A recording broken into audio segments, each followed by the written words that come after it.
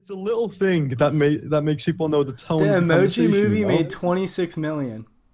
Wait, what? All right, all right, fuck it. Fuck the talk show. We're, we're starting oh, an Oh. emoji oh. film right now.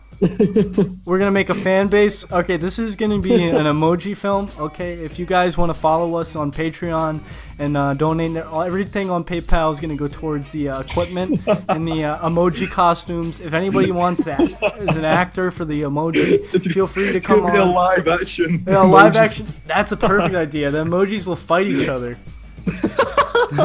oh, it's gonna it's gonna be a zombie movie. It's gonna be it's gonna be directed by M Night Shyamalan. Yes. It's gonna be so bad it's good. Yes. You know, you, you gotta have emojis, zombies, maybe like shark dogs. You need Simon Pegg. Simon Pegg, yes.